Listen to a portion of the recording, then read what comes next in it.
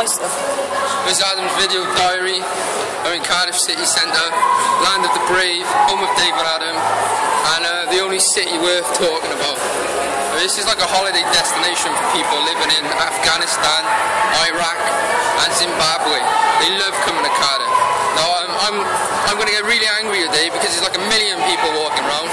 Some kind of fucking event going on. I fucking hate events. They need to run things by me, or Dave, anybody, because it's just like you coming to town, it's just like a million fucking people, stupid fucking tent set up. Um, I just had breakfast at John Lewis.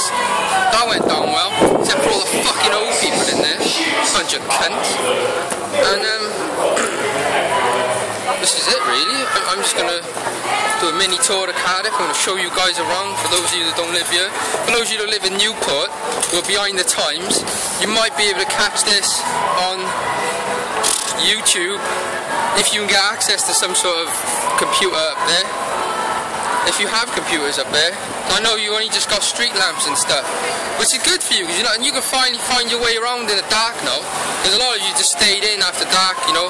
You got street lamps, I you got some nice bus stops and stuff going on up there.